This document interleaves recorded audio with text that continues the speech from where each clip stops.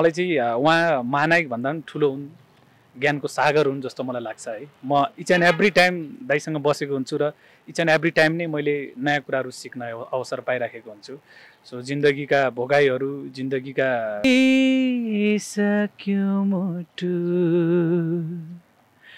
टुक्रा टुक्रा भएर जाऊ भन्यो कसरी? खै के हो के हो त्यो अब या होइन त सुख पनि सुखको पनि अनुभूति गर दुःखको पनि अनुभूति गर है भनेको हो कि होइन? अब त्यो चाहिँ अब भन्न मिल्दैन अब त्यसलाई अब कसरी लैजाने? मलाई लाग्छ मान्छेको हेलो एन्ड नमस्ते सबैजनालाई। म आइसा दाहाल। आइरिस मिडिया प्रोडक्सनको प्रस्तुति रहेको यो कार्यक्रममा तपाईँहरू सबैलाई स्वागत छ। तपाईँहरूलाई थाहा नै छ हामी यो कार्यक्रममा चाहिँ नेपालका विभिन्न क्षेत्रमा रहनुभएका सेलिब्रेटीहरूसँग प्रत्यक्ष कुराकानी साथै उहाँहरूसँग रमाइलो गेमहरू खेलेर तपाईँहरूलाई इन्टरटेन गराउनेछौँ। त्यसैले हाम्रो कार्यक्रमलाई अन्त्यसम्म हेरेर साथ दिनुहोला।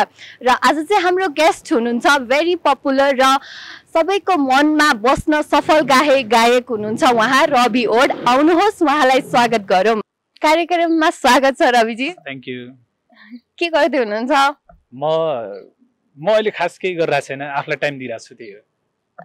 व्यस्तता कतिको छ त नि? अहिले त्यही त अब व्यस्त नभएर नै मैले आफूलाई टाइम दिएको अहिले होइन खास। त्यही हो अहिले भर्खरै अब हाम्रो सारेगामा पचाइ सकियो सारेगामा लिटिल च्याम्प चाहिँ सकेर अहिले चाहिँ अब एक दुईवटा गीतहरू रेकर्डिङ्स भइरहेको छ। त्यही नै हो। कामहरू त भइरहेछ। कामहरू त भइ नै रहेछ हजुर। होइन? के अरे हजुर त डान्सर मान्छे यो सिङ्गर सिङ्गिङ क्षेत्रमा चाहिँ कसरी? सिङ्गिङ चाहिँ मेरो अब एम नै हो खास होइन? डान्सिङ चाहिँ एउटा हबीको रूपमा मात्र लिएको थिएँ मैले। अब गीत गाइरहँदाखेरि कता कता बडी हल्लिरहेको हुन्छ मेरो। त्यही नै हो। त्यहाँबाट म डान्सर भएछु। त्यो चाहिँ फिल हुन्छ। त्यही भएर अहिले चाहिँ अब एकदम खतरा राम्रो डान्सर चाहिँ होइन। एज अ म गीत गाउँदाखेरि नाच्न रुचाउँछु। अलिकति राम्रो तरिकाले नाच्न मन पराउँछु त्यही नै हो। नेपाल आइडल जितेर आइसकेपछिको जित्नुभन्दा अगाडिको रवि र नेपाल आइडल जितिसकेको रविमा हजुरले कतिको भिन्नता पाउनुभयो? चुनौती त अभियसली भयो होला नेपाल आइडल जितिसकेपछि त। होइन अब नेपाल आइडल पछि चाहिँ एउटा रवि थियो पछि जितिसक्यो भने एउटा अर्को रवि भयो जसलाई सबैले चिन्नुभयो त्यही नै हो। जसले मलाई चिन्नु भएको छ त्यही रवि भएर अगाडि बढिरहेको छु अहिले चाहिँ।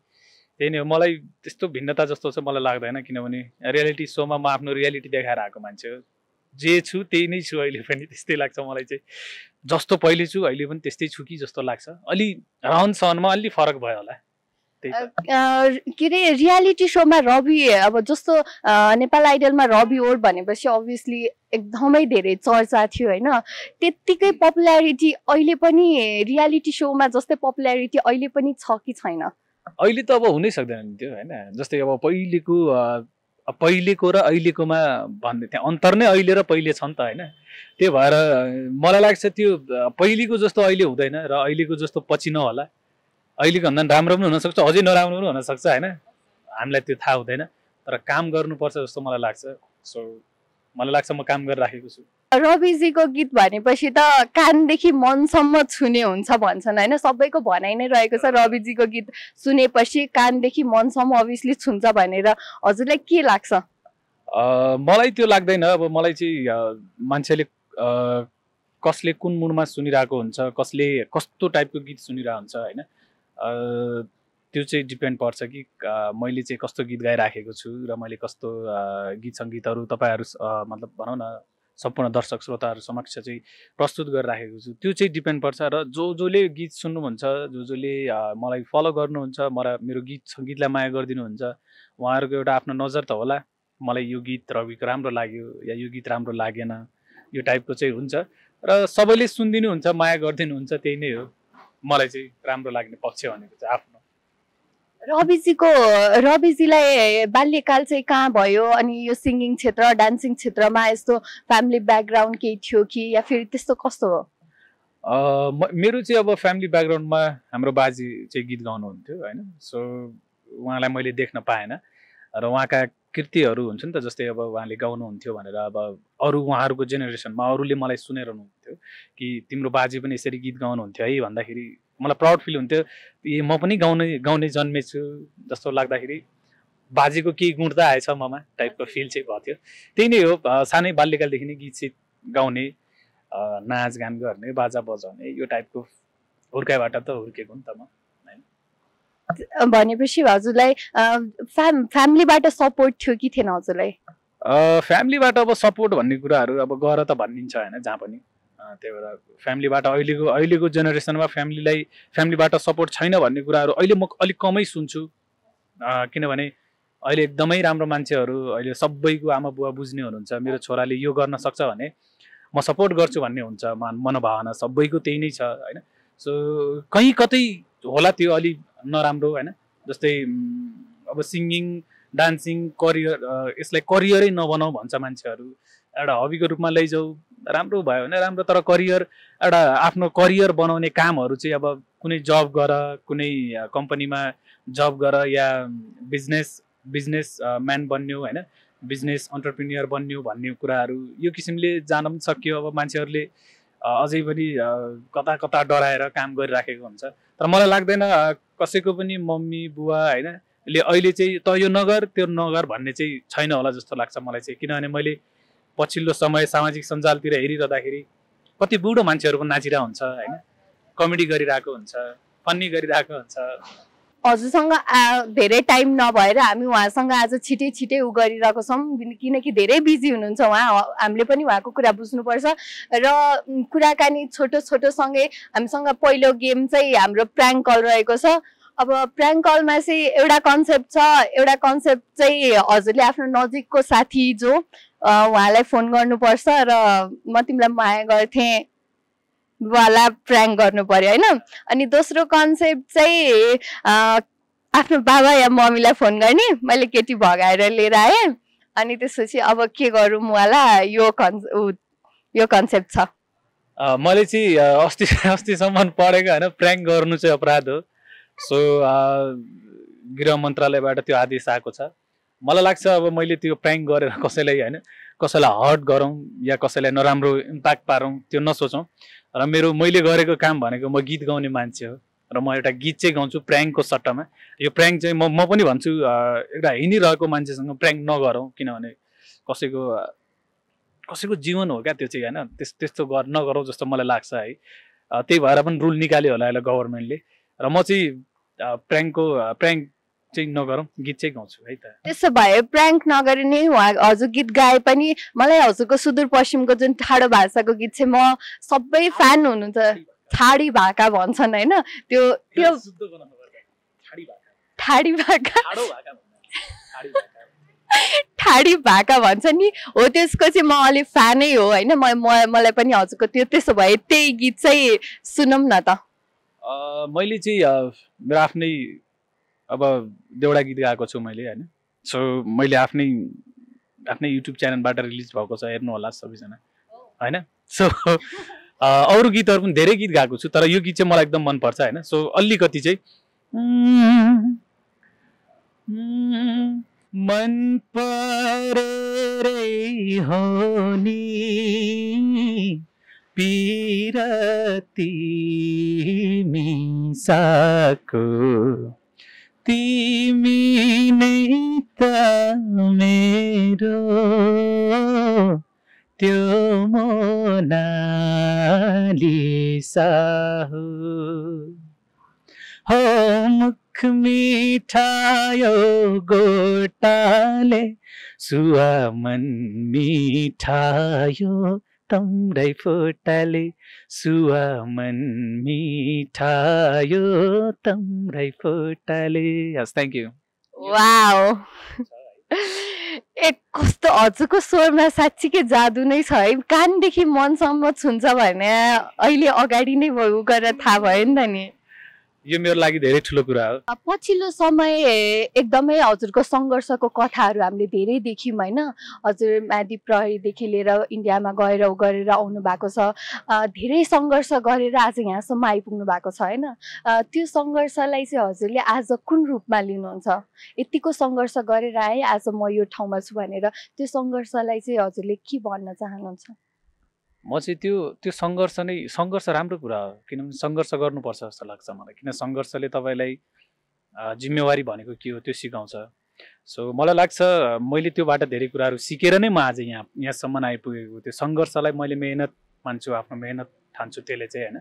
किनभने यदि मैले त्यो काम नगरेको भए ती कामहरू नगरेको भए सायद मलाई जिन्दगीको परिभाषा नै अर्कै हुन्थ्यो होला। र मेरो अ मेरो पोइन्ट अफ भ्यूबाट मैले आफ्नो जिन्दगीलाई पछाडि गएर निहालेर हेर्ने हो र मैले जहाँ जहाँ बसेर पछाडिको आफ्नो ब्याकग्राउन्ड निहालेर हेरेर मैले आफूलाई जज गर्छु भने त्यही भएर म चाहिँ यही त्यही नै छु जो म पहिला रब्युवर थिएँ र अहिले पनि त्यस्तै छु। त्यही भएर चाहिँ म यस्तो भएको छु। किन नत्र म अलि नराम्रो टाइपको हुन पनि सक्थ्यो होला या अलि घमण्डी टाइपको हुनसक्थ्यो होला या अलि सेल्फिस टाइपको हुनसक्थ्यो होला या केही पनि हुनसक्थ्यो होला होइन?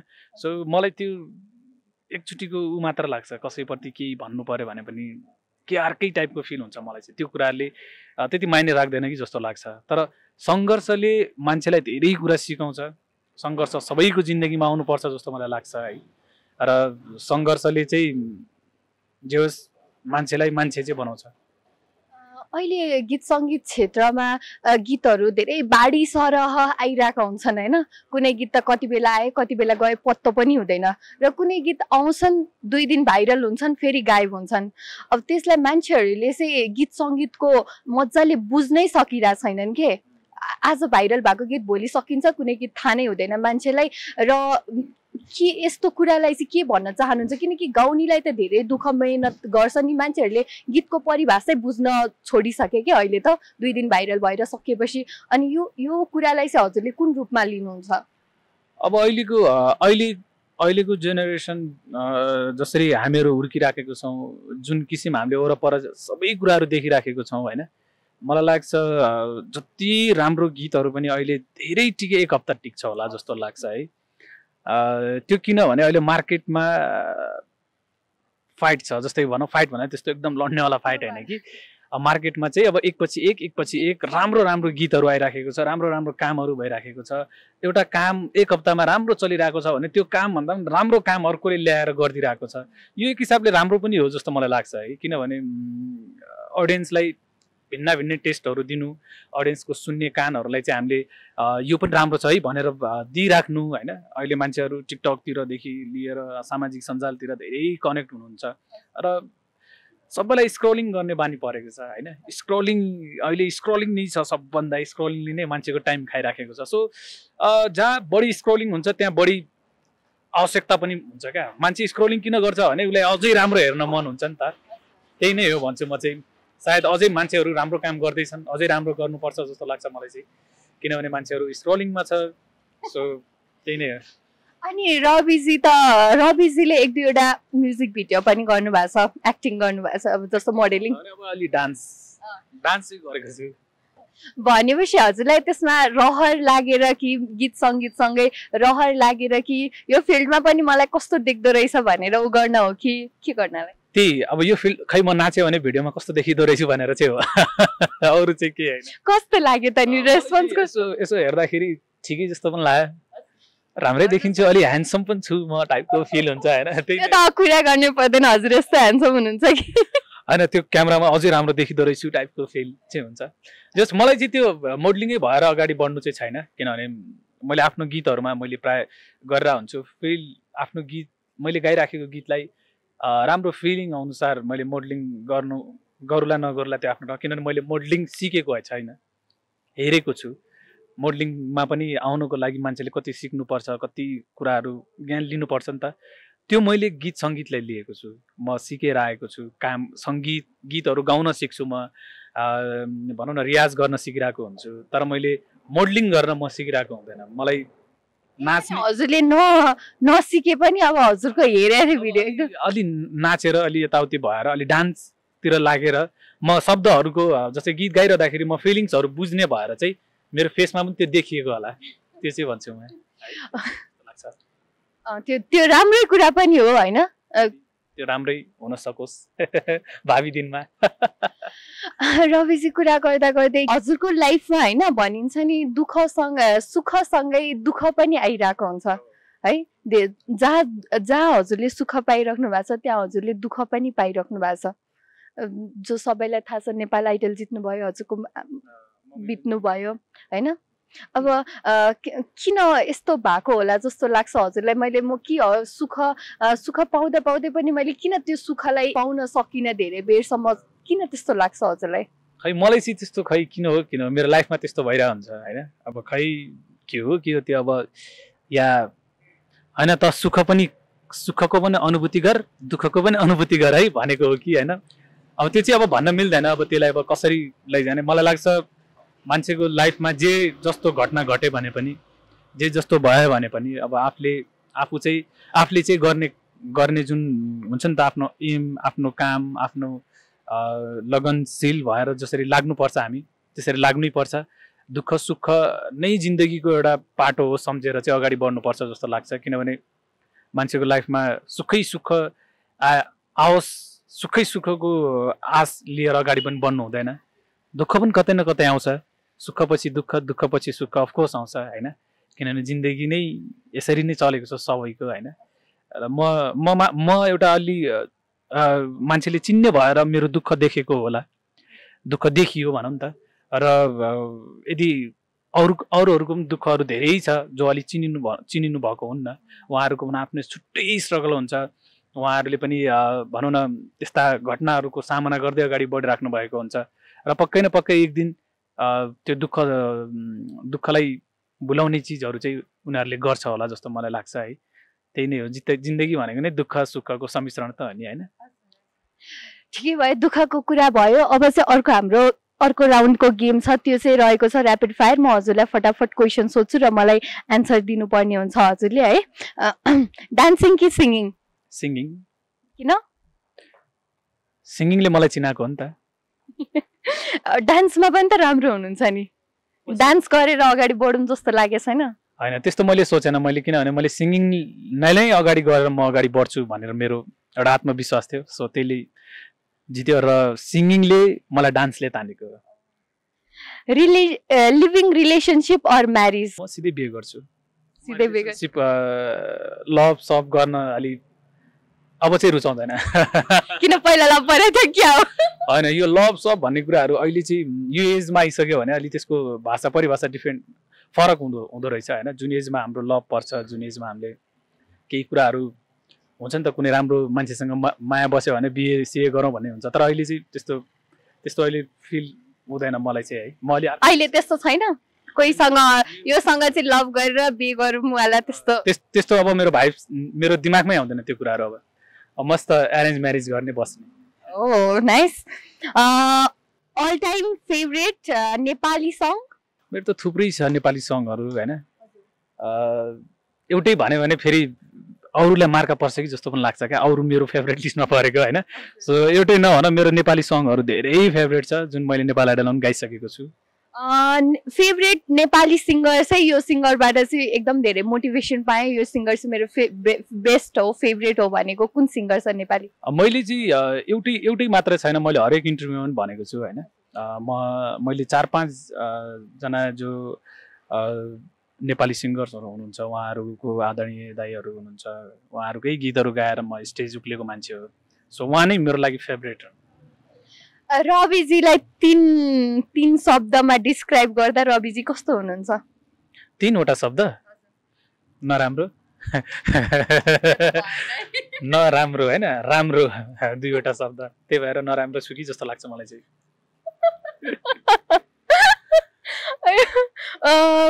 रविजी यदि सिङ्गर नहुनु भएको भए होइन। कुनै सरकारी पदमा चाहिँ हुन्थे सिङ्गरमा हुनुपर्ने तिनवटा गुण यो सिङ्गरमा चाहिँ हुनैपर्छ भन्ने गुण तिनवटा के लाग्छ हजुरलाई? सबैको आफ्नो हुन्छ। होइन कसैलाई कुनै गुण मन नपर्ला मन पर्ला नपर्ला तर मलाई चाहिँ अनुशासन हुनुपर्छ जस्तो लाग्छ है।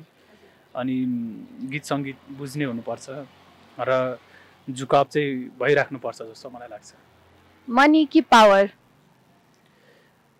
मनी पनि त्यत्तिकै इम्पोर्टेन्ट हो र पावर पनि त्यत्तिकै तर मलाई चाहिँ पावर चाहिँ इम्पोर्टेन्ट हो कि जस्तो लाग्छ अहिले चाहिँ। किन? किनकि अहिले मसँग पैसा छैन तर मैले बोलेको केही बोलीहरू काहीँ बिक्न सक्छ नि त। नाइस कुन देश चाहिँ एकदम घुम्न रहर छ? विश्वको सबैभन्दा राम्रो देश नेपालै त होला नि। नेपालै नेपालै राम्रोसँग घुम्न पाएको छैन। पहिला आफ्नो देश पुरै घुम्छु अनि बल्ल अरू देश पनि घुमेको छु र राम्रो छन् सबै देशहरू। तर मलाई अझै नेपालको ब्युटी मनपर्छ। त्यही भएर मलाई नेपाल देश मनपर्छ। कुन सिङ्गर केटीसँग चाहिँ एकदम काम गर्ने रहर छ योसँग चाहिँ काम गर्न पाए हुन्थ्यो भन्ने। मैले सबै लगभग सबैसँग नेपाली लेडिज सिङ्गरहरूसँग मैले लगभग काम गरे गर्ने अवसर पाएको छु है। र मैले आदरणीय दिदी अन्जु दिदीसँग गर्ने अवसर अहिलेसम्म प्राप्त भएको छैन सो उहाँसँग गर्न मन छ मलाई चाहिँ। हारले ल्याउँछ मायामा निखार भन्ने गीतले कतिको निखार ल्यायो त हजुरको जीवनमा? हारले निखार ल्याउँछ मेरो जिन्दगी। अ, राम्रो हो नि यो त। हारले नै त निखार ल्याउने हो नि त सबैको जिन्दगीमा। सो जित मात्र इम्पोर्टेन्ट हुँदैन मान्छे मान्छेको लाइफमा। हारले पनि मान्छेहरूलाई धेरै स्ट्रङ बनाउँछ। हजारौँसँग हारेर पो म अहिले यहाँ जितेको त होइन। त्यही भएर पो म स्ट्रङ छु त। ओके हाम्रो ऱ्यापिड फायर नै यहीँ सकिसकेको छ। अब कुराकानीसँगै अहिले हजुरको सहकार्य महानायक राजेश हमालसँग धेरै नै भइरहेको छ होइन? हजुरलाई दाइसँग दाइसँग अलिक क्लोज छु म। दाइसँग दाइलाई फलो गर्छु सबभन्दा बढी राम्रो कुरा। उहाँलाई मान्छु। कस्तो हुनुहुन्छ त हाम्रो महानायक? सबैको मनमुटुमा बस्न सफल महानायक। अब सबैले त बुझ्न सकेका छैनौँ उहाँलाई अगाडिबाट। हजुरले त अगाडिबाट सँगै बोलेर सँगै हिँडेर कुरा काम गर्नुभएको छ। कस्तो हुनुहुन्छ त उहाँ? मलाई चाहिँ अब नायक नायकहरूमा अब एउटा पद हुन्छ महानायक होइन? त्यो त अब एकदमै ठुलो पद भयो। आज उहाँको काम गराइको हिसाबले। र मलाई चाहिँ उहाँ महानायक भन्दा पनि ठुलो हुन् ज्ञानको सागर हुन् जस्तो मलाई लाग्छ है। म इच एन्ड एभ्री टाइम दाइसँग बसेको हुन्छु र इच एन्ड एभ्री टाइम नै मैले नयाँ कुराहरू सिक्न अव- अवसर पाइराखेको हुन्छु। सो जिन्दगीका भोगाइहरू जिन्दगीका राम्रा पक्ष नराम्रा पक्ष सेलिब्रिटी लाइफ होइन? उहाँको उहाँसँग बस्नु नै मलाई लाग्छ उहाँले उहाँसँग हामीले बस्नु र उहाँसँग कुरा गर्नु नै उहाँको भोगाइ हामीले लिइराखेको छौँ क्या जो उहाँले नेपाली फिल्म इन्डस्ट्रीलाई दिइराख्नु भएको समय थियो। त्यो समयको बारेमा जान जानकार हुनु हामी होइन? म चाहिँ एकदम खुसी छु कि दाईसँग म नजिक छु। दाईले माया गर्नुहुन्छ सबभन्दा होइन? त्यही नै हो। सो मैले दाईलाई दाईलाई धेरै मान्छु। यदि मैले लाइफमा एकदमै कसैलाई आफूलाई एकदम ठुलो ठाउँमा ठुलो ठाउँमा कसैलाई राख्न चाहनुहुन्छ भन्यो भने मेरो मेरो मुखबाट मेरो बुवा मम्मी प्लस दाई आउनुहुन्छ होला जस्तो लाग्छ मलाई चाहिँ। किनभने म दाईलाई त्यति मान्छु। नाइस। कार्यक्रम अब अन्त्य अन्त्यतिर आइसक्दाखेरि रविजी छोटो कुनै हजुरलाई आफूले गाएको छोटो गीत गाइदिनु न मलाई कस्तो रुस सुन्ने रहर छ। अघि हजुरको त्यो ठाडी भाकाको गीतले कस्तो मन छोयो। फेरि पनि थोरै हजुरको हजुर। अर्को मेरो गीत छ। सो त्यो सुनिदिनु होला। मैले टुटिसक्यो मुटु लेखेको थिएँ सो त्यही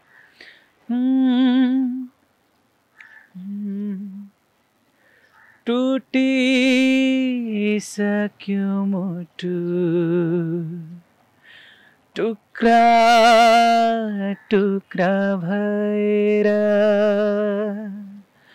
जाऊ भन्यो कसरी एक्लै मलाई छोडेर हिँड्दैछु डुल्दैछु एक्लै हाँस्दै बोल्दैछु हाँस्दै। हाँस्दै रुँदैछु हाँस्दै हाँस्दै रुँदैछु बस थ्याङ्क यू वाह। हजुरको साँच्ची स्वर कस्तो कस्तो मिठो छ साँच्ची अर्कै प्रकारको। तपाईँको तपाईँको कानलाई धेरै धेरै धन्यवाद। हो मैले अब सुनिरहेको थिएँ धेरै कि रविजीको गीत सुनेपछि कानदेखि मनसम्म छुन्छ भनेर। आज चाहिँ त्यो मैले अगाडि नै देख्न पाएँ। धेरै खुसी लाग्यो यसको लागि। यस्तो अवसर हजुरले दिनुभयो होइन? त्यसको लागि धेरै धेरै धन्यवाद त हजुरलाई दिन चाहन्छु म चाहिँ होइन? Thank you thank you so much तपाईँलाई पनि। तपाईँले जे होस् अलिकति भए पनि मेरो मनको कुरा। तपाईँ समक्ष राखिदिएको छ। रविजी कार्यक्रमको अन्त्य अन्त्यतिर आइसकेपछि हजुर एउटा सिङ्गर भएपछि सिङ्गरमा अब आउने फ्युचरका सिङ्गरहरू जुन छन् तिनीहरूको भविष्य कस्तो छ सिङ्गिङ लाइफमा? उनीहरूले के गरेर चाहिँ अगाडि बढ्नुपर्छ जस्तो लाग्छ भनिदिनुहोस् न। अ, तपाईँले अब जुन चिजलाई आफ्नो प्यासन आफ्नो एम बनाउनुहुन्छ त्यसमा धेरै मेहनत गर्नुहोस्। त्यसले एक न एक दिन तपाईँलाई अवश्य सक्सेसको बाटोमा चाहिँ लिन्छ होइन? सो त्यही भन्न चाहन्छु र सबैलाई बेस्ट विसेस त्यही नै मेरो तर्फबाट। आफ्नो फ्यानहरूलाई आफ्नो दर्शकहरूलाई माया गरेर जुन कार्यक्रम हेरेर बस्नु भएको छ उहाँहरूलाई चाहिँ के भन्न चाहनुहुन्छ त? जति जतिले पनि मलाई अहिलेसम्म हेरिदिनु भयो मेरो कपाललाई हेरिदिनु भयो मलाई हेरिदिनु भयो मेरो लुगालाई हेरिदिनु भयो या मलाई हेर्नुभयो सो हाम हामी दुवैजनालाई हेर्नुभयो। उहाँलाई धेरै धेरै धन्यवाद। So thank you so much यसरी नै माया साथ सपोर्ट सबैले गरिदिइराख्नु होला। यस्तो व्यस्तको समयमा यस्तो कोरोनाको बेलामा पनि कार्यक्रममा आएर साथ दिनुभयो र चाहिँ त्यसको लागि चाहिँ धेरै धेरै धन्यवाद हजुरलाई। हस् thank you thank you so much तपाईँलाई पनि धेरै धेरै धन्यवाद। र सम्पूर्ण होल इन्टायर टिमलाई पनि धेरै धेरै धन्यवाद दिन चाहन्छु। हस् थ्याङ्क यू सो गाइज उहाँ हुनुहुन्थ्यो मिस्टर रवि ओड साँच्चीकै मन छुने गीत गाएर उहाँले एकदम रमाइलो गर्नुभयो। उहाँको सङ्घर्षको कुरादेखि लिएर आफ्नो मिठो बोलीले हामीलाई गीत पनि सुनाएर गइसक्नु भएको छ र कार्यक्रम अन्त्यसम्म हेरिदिनु भएकोमा तपाईँहरू सबैलाई धेरै धेरै धन्यवाद दिन चाहन्छु र हाम्रो च्यानललाई अहिलेसम्म सब्सक्राइब गर्नु भएको छैन भने यस्तै यस्तै रमाइलो कार्यक्रम हेर्नलाई हाम्रो च्यानल डेफिनेटली सब्सक्राइब गर्नुहोला र भिडियोलाई लाइक कमेन्ट सेयर गरिदिनु होला भन्दै म आइसा दाहाल यहीँ बिदा हुन्छु। Bye bye.